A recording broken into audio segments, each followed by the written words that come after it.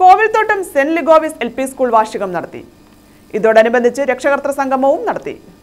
Kovilthottam saint Ligoris L P സ്കൂളിന്റെ നൂറ്റി ഇരുപത്തിനാലാമത് വാർഷികാഘോഷമാണ് നടന്നത്.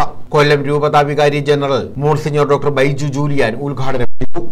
ഈ ദേവാലയ ദൈവത്തിന്റെ പരിശുദ്ധമായ അങ്കണത്തിൽ ലഭിക്കുന്ന ആ വലിയ ദൈവികമായ ഊർജ ഊർജവും ഒക്കെ സ്വീകരിച്ചുകൊണ്ട് അതുകൊണ്ട് ഈ ഈ ഇടവകയുടെ കൊല്ലം രൂപതയുടെ അഭിമാനമായ ഈ സംരംഭം കേടുകൂടാതെ ഇത്രയും നാൾ ജീവനോടുകൂടി ജീവൻ തുടിക്കുന്ന എവിടെ ദൈവം തരുന്ന മക്കൾ പഠിച്ചു വളരുന്ന ജീവനുള്ള അവരുടെ കാൽപ്പാടുകൾ അവരുടെ വരകളും അവരുടെ അക്ഷരങ്ങളും ഒക്കെ ആയിട്ട് നിറഞ്ഞു നിന്ന ഈ ഈ ദേവാലയവും അല്ലെങ്കിൽ ദേവാലയത്തിനോടനുബന്ധിച്ച് ഈ പള്ളി സ്കൂളും ദൈവത്തിനാണ് നന്ദി അർപ്പിക്കുകയാണ്.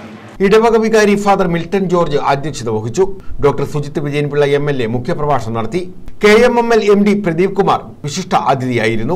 നടൻ നെൽസൺ ഷൂർനാട് ജില്ലാ പഞ്ചായത്ത് അംഗം advocate C P Sudheesh Kumar block panchayat president Santhosh Thuppassery panchayat അംഗം Ancy George P T A president Lincy Leon M P T A president Ramitha ഇടവക അജപാലന സമിതി അംഗം Yohannan Antony B R C trainer Mary Usha പ്രഥമാധ്യാപകൻ Jose Stephen അധ്യാപക പ്രതിനിധികളായ S U C Selbachan തുടങ്ങിയവർ പങ്കെടുത്തു.